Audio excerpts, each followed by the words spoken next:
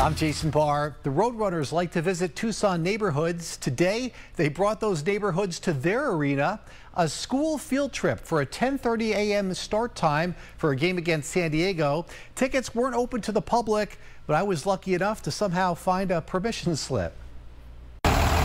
Today's bus stop, 260 South Church Avenue at the Tucson Arena for a Tuesday morning Roadrunners game. Plenty of cotton candy. Thank you very much. But you won't find any beer at the concession stand.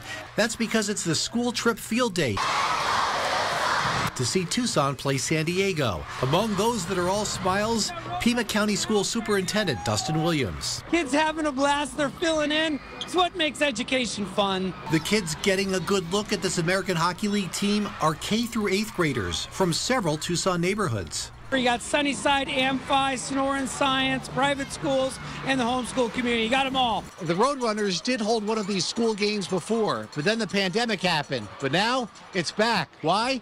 Because the kids and the teachers asked for it. Here we are. We're going to have about three to 4,000 kids piling in. It's the first Roadrunners game for Grijalva Elementary second grader Jalen Lenardis. Have you ever seen a hockey game on TV before?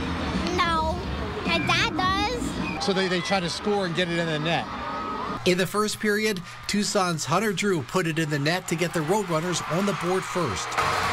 Students were given a workbook to learn a little math-themed Hockey 101. And it's a bunch of social emotional learning, right? Are you learning anything really, or is it just a good time? It's just a good time. You're honest. Yeah. Sixth grader Zoe Estep attends Sonoran Science Academy. Meanwhile, I was still helping Jalen. And sometimes if the players don't like each other, they actually fight. They're doing good. Yeah. I just want to see a fight. Oh, wait a second. That's, that's not how we're supposed to be helping our youth. there was a second period fight and also a 2 1 Roadrunners win over San Diego.